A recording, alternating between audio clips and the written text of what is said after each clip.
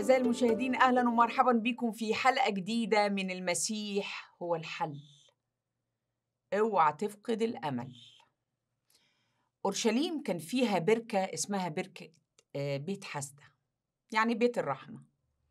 كان الناس المريضة زي العمي والعصم والعرج وكل مرض تتخيلوه كانوا يبقوا حوالين البركة دي لأن في ملاك ينزل أحيانا ويحرك مياه البركة واللي ينزل الأول يشفى على طول. دخل المسيح في المكان ولقى إنسان مريض بقاله 38 سنة. واضح إنه كان مشلول. المسيح قال له عايز تشفى؟ تعرفوا المريض رد على المسيح وقال له إيه؟ قال له مش لاقي حد ينزلني في البركة. بمجرد ما الملاك يحرك المية في حد ينزل قبلي. تأملوا في سؤال المسيح. وإجابة المريض. المسيح بيقول له عايز تشفى. المفروض يرد يقول إيه؟ أيوة. لكن المريض كان بيرد ويقول إيه؟ ما فيش إنسان يلقيني في البركة. المسيح شاف إنه عنده أمل في الشفاء لأنه بقاله 38 سنة بيحاول. المسيح شاف الجزء الحلو اللي في الراجل ده اللي هو إيه؟ الأمل.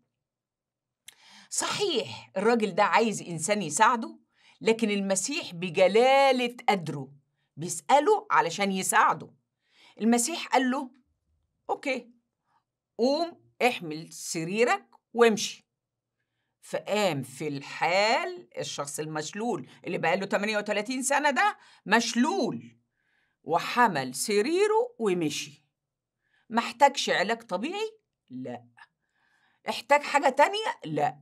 بكلمة واحدة من المسيح قام وحمل سريره وكله بقى تمام.